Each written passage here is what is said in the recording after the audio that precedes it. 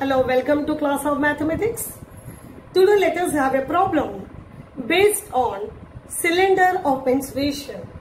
The problem is two cylindrical jars contain the same amount of milk. If their diameters are in the ratio 3 is to 4, find the ratio of their heights. Ratio of the diameters of two cylindrical jars are given to us. We have to find the ratio of their heights where the amount, the quantity of milk in both the jars is the same. That means volume of two jars is same but they are of different. The radii, uh, and um, heights are different. Let us do, let us take, let the radii of two jars are R1 and R2. That means R1 first one, R2. Their heights are, let us uh, take as H1 and H2. Okay.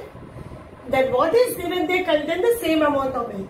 If the diameters are in the ratio 3 is to 4 given. So diameters means uh, ratio of the diameters ratio of the diameters is equal to 3 is to 4. We know that diameter means 2 into radius. That means 2r1 by 2r2 equal to 3 by 4. 2 2 cancelled. So r1 by r2 is equal to 3 by 4. r1 by r2 is equal to 3 by 4. Okay.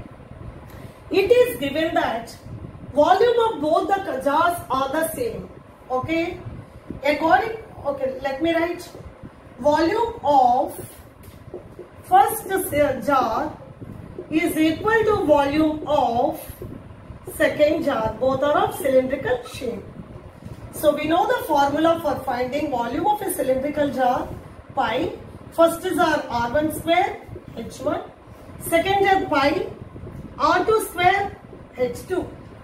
Both the sides pi pi cancel.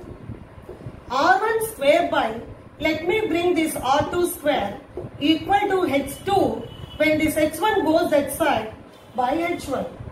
That implies R1 square by R2 square means R1 by R2 whole square equal to H2 by H1. Now let me do the here. R1 by R2 already we got 3 by 4.